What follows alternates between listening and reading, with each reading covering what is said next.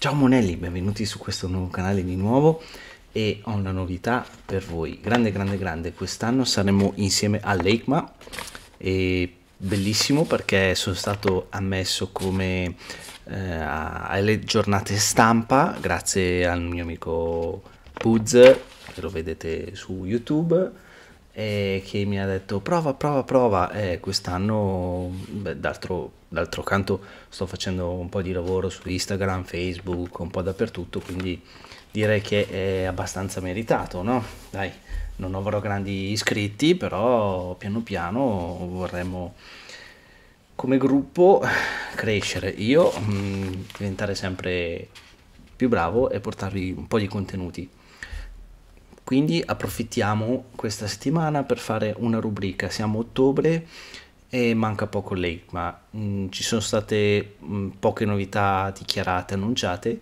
e alcune, eh, molte, verranno proprio presentate direttamente là in anteprima.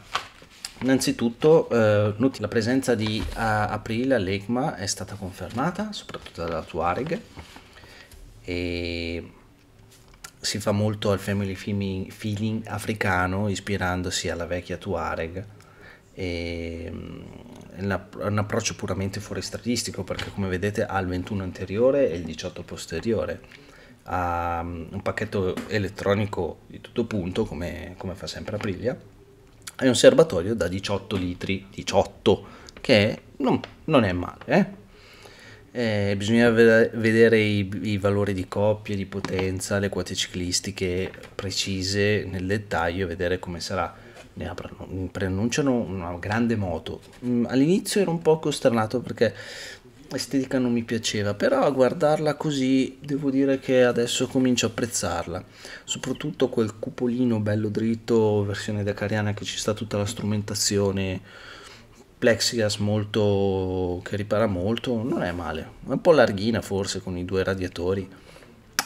Boh, sarà da provare. Secondo me è una sorpresa. Speriamo sia più affidabile del, dell'RS 660 e dell'autuono perché scandalosi con i problemi che hanno avuto. Però si spera che dopo tutto questo tempo di test sul campo eh, si migliorerà.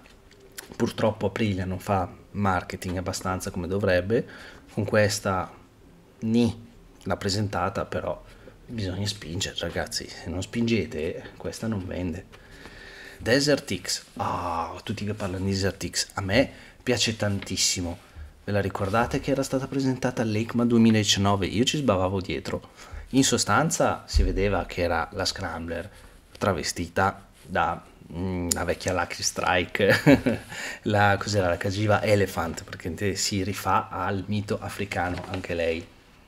E l'occasione per scoprire però totalmente questa moto sarà il 9 di dicembre alla premiere eh, di Borgo Panigale di, di Ducati eh, però sarà dopo l'ECMA, quindi bisogna vedere se porterà qualcosa come ha fatto Aprilia di nascosto sotto i veli oppure ancora il prototipo, bah, chi lo sa. Comunque sicuro che il motore sarà il collaudato testa stretta 937 cm3, raffreddato ovviamente a liquido perché ormai eh, questo va, e montato già su una ciclistica che è collaudata sul gruppo Ducati, quindi quell'anteriore rigorosamente da 21 mi raccomando perché per ora tante moto avevano 19 in Ducati non è molto fuoristradistico oppure il multistrada come fai a farci enduro con una moto da 250 kg 250 no però quasi. Vabbè passiamo alla prossima. La Norden non è altro che secondo me una 790 890 travestita con qualche chicca elettronica nuova di display, il faro rotondo, un po' di carenatura.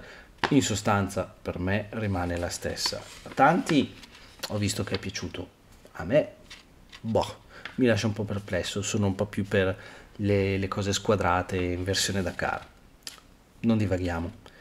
Intanto verrà presentata ufficialmente il 30 ottobre, quindi manca poco poco poco poco e ci sono già 5 video girati in Islanda proprio sul campo dal mitico, adesso non mi ricordo come si chiama, comunque mh, grande motociclista e vediamo il plurivincitore della Dakar Cyril Depré, viaggiatore esploratore Mike Horn. Alla guida dei due prototipi della 901 Norden assai vicina all'estetica concept, sì perché secondo me un po' eh, questa è la concept, poi l'hanno modificata un pochettino ovviamente per i viaggi, guardate qua che bella, Vabbè, eh, alla fine la sostanza è sempre quella, hanno, anche i cinesi ci hanno fatto una moto simile sullo stesso telaio e motore.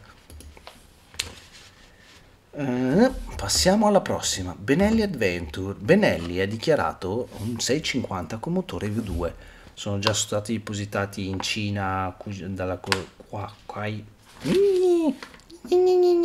Kojang Motorcycle eh, i disegni di questo progetto bisognerà vedere le tempistiche e come uscirà. Sicuramente avrà il 19 anteriore e il 18 posteriore e 17 scusate posteriore. Eh, una serie di telaio tubi traliccio di tubi d'acciaio come sulla TRK la cilindrata come ho detto intorno ai 650 e col, col motore a qua sembrerebbe uh, con i cilindri AV sembra di 90 gradi con distribuzione tipo bialbero bisognerà vedere effettivamente come uscirà. Il motore sembra quello collaudati, collaudatissimo Suzuki quello che monta anche sulle Vustron per intenderci quindi ne vedremo delle belle. Passiamo a casa Honda Honda, la CB500X che io personalmente adoro, costa poco, pochino più della concorrenza, però ha la fiabilità Honda e va benissimo e ci vai ovunque con quel 19. Io lo consiglio a tutti, poi nessuno mi dà retto, ci metterei solo dei cerchi a raggi e poi per me è una fuori, ah, va bene anche in fuoristrada. L'estetica rimane che invariata, ha cambiato la colorazione e qualche chicca c'è di sicuro Innanzitutto eh, possiamo dire che eh, l'estetica rimane invariata se non per l'introduzione di nuove grafiche, l'ho già detto, e il nuovo fanale anteriore capace di una resa maggiore. Cosa vuol dire? Fa più luce? Vabbè.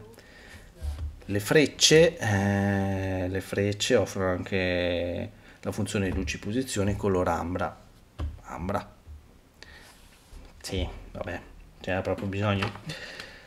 Eh, ecco, se nel modello precedente veniva utilizzata una forcella telescopica tradizionale monodisco da 3,10, adesso Honda con la 2022 mette una bella Showa, qua dice modello SFF-BP, adesso andiamo nel dettaglio, comunque da 41 mm, privi, priva ancora di ogni regolazione. E due dischi però non più uno da 2,96 e le pinze flottanti a due postoncini paralleli. Sono d'accordo, però magari con le forcelle potevo lasciarmene un po' migliori. Come le altre due sorelle arriva anche il forcellone in acciaio ma più leggero, rinnovato. Speriamo che migliori. Quindi grazie alle pareti, alle pareti più sottili c'è più rigidità, quindi ottimizza la mangevolezza e il piacere di guida anche la taratura, non diciamoci, del mono posteriore è stata modificata per avere un assetto perfetto. Parliamo sempre di Honda, Honda, Honda. Si dice che eh, Transalp arriverà. Il nome è stato depositato, bisogna vedere cosa porteranno a EICMA. Secondo voi la porteranno? Secondo me magari un prototipino uscirà. Speriamo che non sia come la CB, come la C125X, una roba del genere, che era stupenda amata da tutti, ma non si è mai vista. È stata presentata da pochissimo la multistrada V2, molto bella, qua dice su Red Live, che mi piace molto come sito, come blog, come, tante, come video, sono bravi, molto. E, ehm, a me piace molto. Mm, c'ha il 19 interiore e il 17 posteriore, scelta voluta perché dicono proprio in Ducati, se avete visto la presentazione, che ciclisticamente è l'equilibrio perfetto, non cade in curva come il 17, non devi forzarla come il 21, il 19 è la via di mezzo, secondo me adatta per le adventure bike, se non si vuole fare off-road un po' più serio, però effettivamente a parte il marretta, chi c'è chi fa tutte cose e, e me, eh, pochi, chi compra una moto del genere, soprattutto un Ducati, io avrei un patema a portarlo fuori strada. Mio amico ci aveva lasciato giù una fiancatina, qualche segno, gli hanno chiesto mezzo milione di euro per cambiarla. Vabbè. Comunque eh, hanno lavorato molto sull'ergonomia, dicono che è stata ridisegnata la sella, quindi è più stretta è andato anche eh, possibilità di avere più movimento longitudinale al pilota, la seduta è come detto più stretta ma è anche più bassa, le pedane e poggiapiedi assicurano una posizione delle gambe meno raccolta, quindi molto molto più adatta ai viaggiatori. L'arco di cavallo è solo 1790 mm in altezza, l'altezza sella è pari a 830 che può anche scendere a 7,90 col kit di ribassamento per nanetti. Ehm, sì, non si... D'altronde è giusto, non tutti possono permettersi di... Oh, si è spenta la luce. Non possono permettersi di avere una moto troppo alta. Io sono il primo. E non si nota ad occhio, però è stata alleggerita di 5 kg, che non è poco eh, in generale. Quindi ora l'ago della bilancia per la V2 si ferma a 199 kg.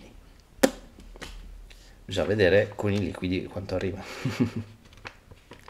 Poi già nuova frizione, tamburo, cambio biella, bla bla bla, altri 2, altri 2 kg risparmiati, non è male. I cerchi lega eh, pesano 1,7 kg meno, che non è poco, e anche i cerchi a raggi, come optional, sono più ridotti di peso rispetto in precedenza. Per tutta questa riduzione di peso mi sembra che prendi un sasso si rompe a metà, però se lo fa Ducati lo fa bene, anche se si spacca, si spacca bene. la molla delle, del cambio è più caricata in modo da evitare che il sistema rimanga fermo in posizioni intermedie, quindi il cambio è più preciso, bla bla bla, intervalli, inter, intervalli interventi di manutenzione ogni 15 km, 15.000 km, immaginate ogni 15 km, ogni 15.000 km o 12 mesi, come tutte le case ormai, con un controllo del gioco valvole ogni 30.000, insomma non è male questa Ducati. Parlando invece del mondo e-bike, pianeta mtp.it, bello sto sito, e ci sono le batterie da 1000 watt ora, 1000, la mia ancora una 400. Eh, beh, sistema Porsche è fenomenale. Di solito tipo la Bulls, non tipo proprio la Bulls ha, pro, ha portato sulla sua e-bike 1000 mm, watt ora, 1000 watt complessivi perché è suddivisa su due power unit. Può, man- può montare due batterie 500 oppure la principale da 625 e l'esterna da 500 che porta veramente a 1125 watt. Ma dove vai? in Alaska. Passando invece alla, um, ai bike iBike ha presentato, eh, ha messo sulle sue bici già il nuovo motore Yamaha PVX3 un grande, grande, grandissimo motore che ne parlano molto bene, eh, che già il Fly-On aveva 120 Nm di coppia, spettacolare. Questo PVX3 non so quanto ne abbia, dovrebbe anche lui, eh, proviamo a googlarlo, PVX3 ha 85 Nm, che non è molto, non è poco, e eh, un peso di soli 2,75 kg è più leggera del 10% rispetto al modello precedente, quindi con maggiore eh, capacità eh, peso potenza. Inoltre il design, come vedete dalla foto, non so se si vede, è molto più piccolo. Grande novità eh, affermata quest'anno è Polini. Polini ha fatto un gran bel lavoro con le sue e-bike. Eh, quest'anno c'è il EP3 Plus come, plus, come motore eh, questo ha 70, 70 Nm di coppia, se no c'è l'MX che ne ha 90 Nm di coppia. Chi l'ha provata ultimamente dice che è praticamente un motorino, non è una bike. A me piacerebbe provarlo. Polini, se mi senti, fammi provare queste bike. magari mi invoglia anche cambiarlo. Se me ne regali una, bene, se no... Eh, io ho l'e-bike eh, Enduro eh, RX del 2016-2018, il periodo, eh, con 400 watt e il motore ancora il vecchio Yamaha che eh, quando si pedala dà molta potenza e si rischia no, o il cappottamento oppure che si lascia lì il solco e quindi fa una fatica bestia. È molto più fisica. Le nuove e-bike sono tremende sono, mm, non sono solo dei motorini ma hanno anche un livello di assistenza elettronico che è favoloso aiuta molto nella pedalata nella cadenza e ti permette di arrivare in posti allucinanti consumando anche meno batterie che in precedenza. Chi non ha provato l'e-bike secondo me è un folle capisco che esistono le muscolari, che esistono, che sono nate prima le muscolari ed è uno sport, però chi non ha mai provato un e-bike non sa cosa si perde, è divertimento, lo stato puro.